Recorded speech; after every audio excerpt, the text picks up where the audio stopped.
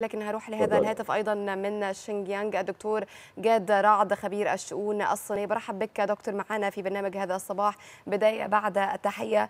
يمكن كنا نتحدث عن هذه الجائحة التي يعاني منها العالم لكن الصين يعني استطاعت وقدرت في هذا الوقت إن هي تحاول تستعد بشكل كبير لانطلاق هذه الدورة غدا إن شاء الله. استعدادات الصين حضرتك شايفها إزاي؟ يعني افتتاح الدورة الأولمبية بعد ساعات من الآن وال يعني هي من أكبر الأحداث العالمية التي ستشهدها الصين بعد بعد كورونا.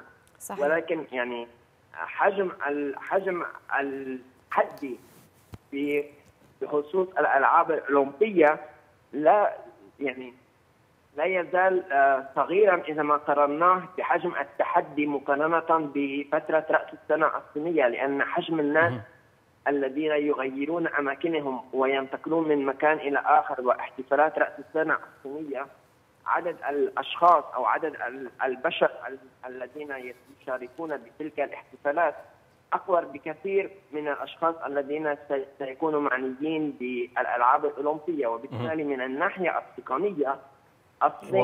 واثقة 100% أنه لا يوجد أي أي احتمال خطر أو أي احتمالات حدوث أمر سلبي. نعم. الشق الأكبر في هذا الموضوع هو ما يتعلق بال الألعاب الأولمبية بحد ذاتها حدث أو عرس رياضي ولكن نحن نعرف ونتذكر منذ سنة أو أو أكثر من سنة أيضا هناك معسكر دول غربية تهجموا على الصين في هذا في هذا المجال هم وضعوا الكثير من الأكاذيب بخصوص كورونا. هم وضعوا موضوع الألعاب الأولمبية والمشاركة بها. نعم. آه كنا لسه بنتحدث دكتور جاد إذا سمحت لي كنا لسه بنتحدث في المداخلة قبل هذه المداخلة مباشرة عن هذه النقطة وإن الرياضة لازم دايما تكون بتجمع مش بتفرق وقد إيه إن هي بتكون يعني الهدف منها في الأساس هو الرياضة والتقارب بين الشعوب المختلفة. خلينا نعرف من حضرتك برضو وإحنا بنتكلم على الميداليات الأولمبية في هذه البطولة من المفترض إن هي بتكون بتعبر عن علم الفلك الصيني. يا ريت حضرتك تشرح لنا شوية مدى ارتباط هذه الميداليات بعلم الفلك. بالنسبة للتقويم القمري الصيني التقليدي يعني نحن نعرف أن الأبراج في كل العالم هي 12 برج ترتبط ب 12 شهر ولكن في الصين هناك 12 حيوان يرتبطون ب 12 سنة وبالتالي الأبراج مرتبطة بالسنة. ومن ذلك كل مواليد هذا العام سيكونون من مواليد النمر. يعني من شباط من فبر... من الأول من فبراير بدأت السنة السنة الصينية الجديدة.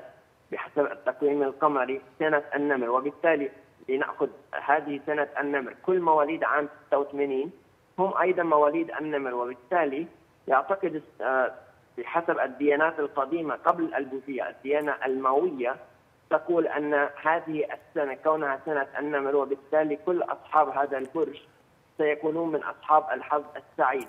مثلا سنة 86 ويضاف إليها 12 أو ينقص منها 12 ومن ناحية أخرى النمر من حيث الرمز يرمز النمر.